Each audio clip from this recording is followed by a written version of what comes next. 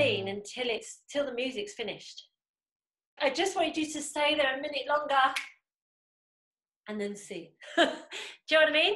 Because in audition terms or performances, just make sure you hold it to the very last note. Boom. Then you break away. Good job.